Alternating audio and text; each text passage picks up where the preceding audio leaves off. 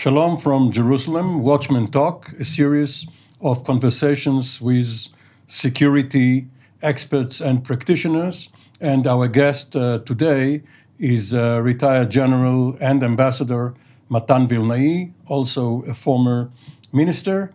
And uh, General Vilnai is one of Israel's most illustrious and distinguished soldiers, then turned politician, then turned diplomat. He has taken part in um, most of Israel's wars, campaigns, and uh, other actions uh, throughout uh, the years. And uh, welcome. Thank you. Uh, you know, um, this um, series, Watchmen Talk, uh, is derived from the uh, Watchman, which uh, the prophet Isaiah said, I have posted watchmen on your walls. Um, and you, who were born here in this city, Jerusalem, not only can tell all of us about it, but also having been born on the um, festival of uh, Shavuot or Pentecost, um, your name, Matan, which means giving, uh, is supposedly the first such name uh, in Israel. Now there are many. Now there are many, yeah. But you are the original. I, I believe that I'm the original, yeah. You also share your birthday with Moshe Dayan, another uh, soldier uh, who was born on May 20th. Of May 20th, yeah. Yes, but right. several years earlier. Yeah. Um, and because you belong to and exemplify a certain generation of Israelis born a few years before the country was established, and then taking part in all of the wars in the 60s, the 70s, and 80s. Do you remember anything from the uh, four years uh, you spent here during the British Mandate and you, before the establishment of the state? Absolutely. You won't believe it. When you tell me to come here, I lived 500 meters from here when I was a kid. And Jerusalem was besieged. And in Jerusalem were the 6th Airborne Division. Paratroopers. The paratroopers. The first paratrooper that I saw in my life was a British one. They used to uh, drive their jeeps across our neighborhood and we used to run to chase them. It was like chewing gum, chewing gum. This is my English from this chewing gum. And uh, I remember them very well when they searched our home. And uh, I remember the siege. Very close to here, now it's Gan Sacher, was the airstrip that connected Jerusalem to, to the main body of Israel. We as kids used to run to see the airplanes that came to the air, airstrip. I remember one Ben Gurion disembarked from one of the airplanes. He said, "The Ben Gurion, he's a god." And I remember a lot about. Uh, and when I came here, and would think to myself, where to park and all this, I feel that I am at home. This is my neighborhood. This uh, airstrip um, also witnessed one of the crashes during the War of Independence. Uh, uh, with two crew members, one of whom was a female, yeah. um, and they died in uh, in this crash uh, right in front of, of uh, several uh, spectators. Zahara Levitov. So you grew up in uh, Jerusalem. Your father, Ze'ev Vilnai, was um, a very famous expert on archaeology, history. Um, he wrote more than 100 books about Israel. he called himself himself not a geographer, not a archaeologist, but landscaper. I'm coming from the land, landscaper. This was his profession, landscaper. And actually, in 1967, uh, where you were not uh, in this part of, uh, of the country, no. um, he helped um, the reserve troops survey uh, the uh, the walls of Jerusalem in order to to breach them or to bypass them? Oh, it started with uh, in 48. In 48, uh, he was then younger, of course. He was 48 years old, and he served in the intelligence in Jerusalem because he knew the area like everything. And he was one of the, you can say, pathfinders for our soldiers there. Yeah, our unit. Now, you went uh, um, from Jerusalem uh, to Haifa to uh, a military boarding school, which was quite rare at the time. Um, we're talking about uh, the late 50s. Uh, Early 60s, yeah, late, late 50s. Yeah, late 50s. How, how does a kid in Israel, in those years uh, where there was uh, hardly any, any security tension, this was after the Sinai campaign of 1956, a few years before the 1967 war, and uh, people thought that um, there's not going to but, be a war for many years. I grew, as we mentioned before, during the siege of Jerusalem in 48. And from my first days, I remember, I remember my father, that was a Zionist 100%. He, they fled there from Kishinev, after the riots in Kishinev, to Haifa, not to America. Most of the Jews fled to America. They fled to Jerusalem, because, to Haifa, because his father, my grandfather that I met, never met, was a Zionist. And he came there and he told me all the time, we must be strong in order to survive.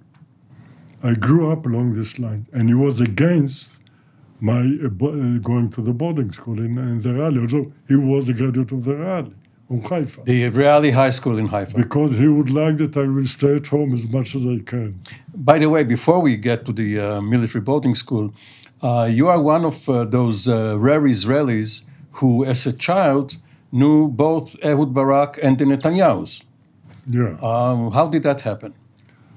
Uh, Netanyahu was the little uh, brother of Yoni. Yoni was uh, about my age, younger than me one year. And uh, Bibi was uh, the kid there. Five years younger. Most of the time they spent in New York, not in Jerusalem and his father and my father, both of them, were graduate of a college in Philly, in Philadelphia, uh, Dropsie College. There was a Dropsie College in Philadelphia. Dropsie was a wealthy uh, American Jew that uh, put his money into this college after his name, and the college dealt with Judaism and the Middle East, especially for my father and for the father of Netanyahu and both of them uh, studied there in uh, in Philly in uh, Dropsie College. I visited there several years ago when I was a, min- a minister or a general. I don't I don't remember. I went there to say it's interesting, and uh, we were in the same neighborhood in Jerusalem. But uh, Ehud Barak was another Ehud childhood Barak is from a kibbutz, from Mishmar Sharon. And my father went to London to finish his first grade, something like this. And they sent us, me and my brother, to the kibbutz, to a doctor that was a friend in Mishmar Sharon. After one day, we moved from the doctor to the next door to Brug family. Brug is Barak.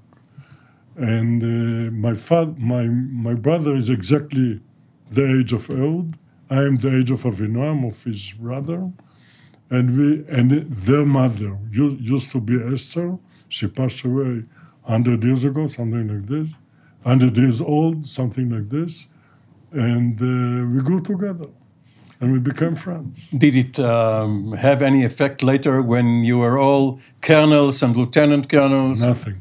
He was older than me, two three years, so he mobilized before me, and uh, we met several times during the service but nothing more than that. Nothing more than that. So, what happened um, when you were uh, 15, 16, 17 year old um, in the boarding school and you decided to make the army your career? It's there is no answer because I went to the boarding school in order. It's it's it's, it's nothing to you can't understand it to serve my country. Now it's like uh, a joke. And we were, I went there to serve my country. And when I finished, I uh, volunteered to the paratrooper. For me, it was obvious. And every year, I used to sign for one year because I said to To myself, re-enlist. To, no, I'm not going to be a career officer. But because they offer me this, I'm going to do it. And then they offer this, I'm going to. And then one day I found myself, more than 20 years in the army, in the rank, I believe, of uh, full colonel or something like this. And so I said, okay, so I'm going to in the army. I was more than 30 years old, 35 years old. I became a general, a one star. And uh, that's it. Um, what uh, sort of fundamentals did you get in boarding school? Was it values? Was it uh, the uh, military art? You had a very, very competent class. Uh, one of your um, uh, colleagues, Amnon roommate, not colleague, roommate for two years in the in the boarding school and one year in the officer course. So he, together. so he was chief of staff, and you you were his deputy, and you had other generals coming out of uh, this group. You know, in West Point um, uh, during World War One, there was a class which is called the class the stars fell on, with Eisenhower and others. No, but there was a class during the Civil War that the class was divided between the South and the North. It's interesting. Okay. They knew each other from from school. They knew the girlfriends, everything. Well, you were later in charge of the South, but in Israel, not. Uh, Yeah. Uh, your your division was in the North earlier, but then you had. uh, commanded the Southern the Command. Southern Command. So uh, you joined the paratroopers, which were at the time the most coveted unit, uh, the uh, most prestigious uh, unit. But you probably thought that you missed your chance. That uh, all of all of the action took place seven, eight years earlier. Absolutely. And you were sure that you missed it and you will never fight. And then you find yourself in the middle of this. So, so you you joined in 1962, 62, August 62. immediately a squad leader. A quite little because of the boarding school. And and uh, you jumped even during uh, boarding school. Your first um, uh, No, no, no. This is only later. No, but I'll tell you, I'm not sure that you know it. When I was a squad commander, my soldiers were from something, not the paratroopers. Very similar, but not the paratroopers. It was a secret. And then I realized that this is what you now can say openly, Sayeret Matkal. In those days, you can't say these two words. Sayeret The Matkal. elite intelligence unit, which is under the uh, director of military intelligence. Exactly. And when I'm, uh, I one day I'm going home, in order to report to the officer schools in Sunday morning, and then Friday evening I got a, a call. At my, I lived then in, with my parents, and the commander of the elite unit sits on the line. He said, Avram, He said, Matan. The soldier uh, said that they would like you to come with them. I said to him, but I'm going to the officer school to, the day after tomorrow. He said to me, think about it. I shut it immediately. It rang, I pick it up, my battalion commander. You won't believe, I'm a corporal. The commander of the special unit, my battalion commander that for us was God. He was killed after that in, in, uh, in action in uh, the Jordan Valley when I was under his command. And uh, he said to me, Matan, I heard rumors about Sayeret Matkal. You are belong to us, and you must report Sunday morning to the officer school. This is Arik Regev. Arik Hagen. Arik, yeah. I said to him, okay, I belong to, to the, your battalion. And I went to the officer schools. And then they asked me again. It's a long story. So It's you, you story. probably felt uh, long story. yeah. very proud that uh, uh, these units uh, are vying for your services. Yeah, yeah. And then I, at the end, they offered me to be a battalion commander. I was a captain, and uh, the the unit asked me to come to them to be the second in command, and I went there.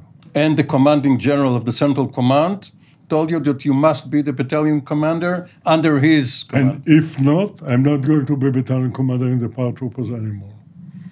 And uh, it was a real story.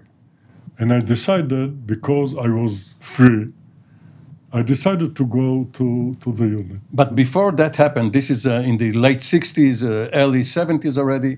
Before that, you took part in, in several uh, very important uh, actions. Um, now, of course, it's more than, than 50 years uh, in the past, but one was Samoa and one was Karame and was, one was Najah Hamadi. What was the character of the small, as we now see it, uh, Israeli Defense Force? I'll tell you. Now, when I am 77 years old, I see things differently. But the most important lesson that I got from home, from my father, not from the boarding, the military boarding school, but from my father. And then in life, the most important thing is first of all to take the initiative all the time. You don't believe no one, only yourself. And you have to do it the way that you believe that you must do. You don't believe your superiors? No, no. You understand them, yeah, they are the, your superiors, so you depend on them in some way or another. But at the end, you are on the ground, you see the situation, you evaluate it, and you take the decisions. It's very important to understand it. And you know, and you, uh, Dan Shomron, you knew Dan Shomron. He was a friend of us. He was then the chief of staff. When I was a, a company commander, he was second in command in our battalion. He was something special.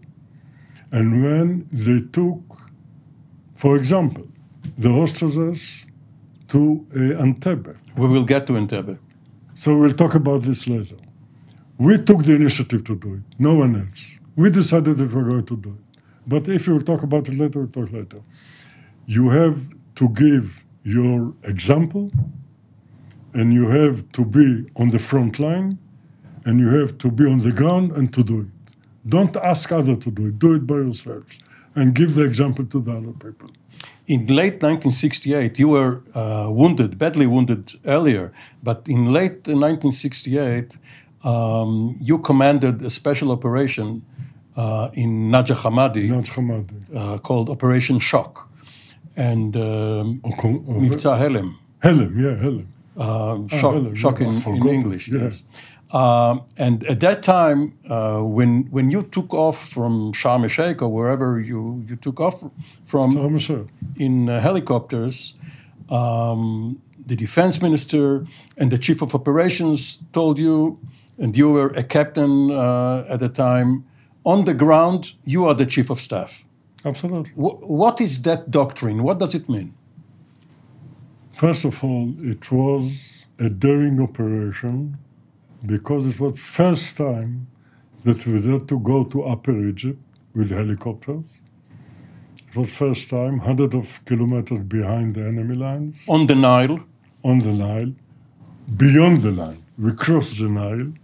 You won't believe it. You, we crossed the Nile, and I was then a second in command in a part of a battalion. They called me back to my original unit, and they said, "Now you are back the commander, because we are going to this operation." It's never happened. Not before and not after that. It never happened. this is actually what Ehud Barak was supposed to do at Entebbe before he was sent to Nairobi. Yeah. Uh, he was recalled to his old unit, Sayeret Matkal, uh, to be Yoni Netanyahu's superior. they, he- he But this is very rare. Usually, you let the commander command. No, but they asked me to come back to the unit. Think about the unit commander. When I come, my and the unit commander is from Jerusalem, around the, in this neighborhood. Gad Negbi. Gad Dagby, yeah. And we flew and we crossed the Nile, and everything was first time. Everything there first time. And in this case, the initiative came from the general heads, uh, headquarters. In this case, but as Barlev, the chief of staff, told me, and Moshe Dayan told me, you are the chief of staff on the ground. It's your decisions. Whether to abort or to continue, everything.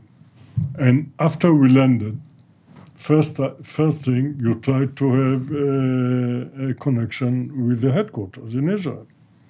What you what you wanted to do, if if people still remember the old World War II movie, The Dam Busters, um, you you had uh, to throw depth charges uh, on on bridges and uh, transform- my- my transformation My mission was a transportation station, electric Transformation. and I uh, had to, to destroy it. And first of all, I tried to have connection to Israel. But this, this was in order, just to give the background, because the Egyptians started shelling the uh, Israeli troops on the eastern side of the canal, and they had no bunkers yet. The, and the, the idea was to hit them uh, in their rear and to uh, get all the lights off in Upper Egypt. It was a very uh, distinguished understanding of the general headquarters. It's not happened many times, but it happened this time. That you don't have to fight the Egyptians on the line because we are not prepared for that. They have on, on their side more than 1,000 uh, guns. We have on our side 15, 14 at the most. And there is no chance and no bunkers. And you were only a team or a platoon of, of what, a dozen soldiers? Uh, 14. 14 soldiers, 14 soldiers. In, in one helicopter or two? Two. It's So one, this- it's wonderful example. It, oh, this is a tactical action for strategic purposes. exactly, exactly. And the general headquarters decided to hit the Egyptians back in the rear, deep in the rear, so they will understand that we can do everything. If we would like, one day we can come to Nasser, to the president, to take him back to Israel. And uh, we achieved it. We achieved it. 14 soldiers, deep in enemy area, without communication to, to Israel. It's not easy to do it. And my first decision was the order was, the pre order was, you have to stay and then we will come to take you if there is no communication. I said to, to myself, it's too cold. I don't You mean the helicopters offloaded you, Offloaded. the flew and back, and then you were supposed to pick you up? after several hours. And we had to, to have the mission. But we have no communication, so the, the order was you have to stay and to wait to the helicopter because you can't talk with anyone. And I decided to, to, to continue. When I came back, after the story, there, there, there are no guard, there were guards there, we have to fight them. Intelligence wasn't excellent. Intelligence always is intelligence. And I clashed with one of the guard of the Egyptian guard. If you saw the movie of uh, Gregory Peck, uh, Which one? old one, when we were kids, they, they had the two people in the desert street with their guns. Yes, in the Western. What uh, High? High Noon. High Noon. Exactly, exactly, exactly. High noon, yeah. Gary Cooper. I Gary Cooper, exactly, Gary Cooper. It was the same situation. An Egyptian soldier and me. I know, I knew that he's Egyptian.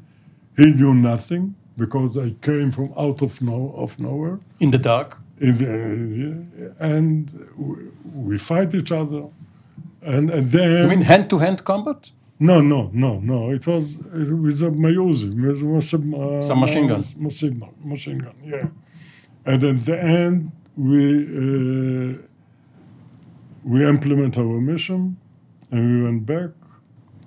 And uh, after I landed, Moshe Dayan, The defense minister. the defense minister, that was a figure in those days, he called my father.